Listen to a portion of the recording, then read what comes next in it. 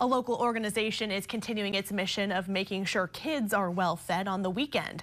Community Service Clearinghouse in Fort Smith provides meals through its Meals for Kids backpack program.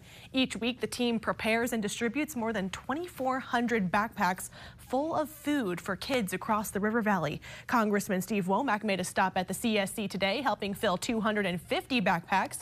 The CSC says it's crucial that kids have access to food when school is not in session. This is so detrimental to them to be able to have food over the weekend. And sometimes until you get in here and see that for yourself, you just, it doesn't hit home until you can actually see it.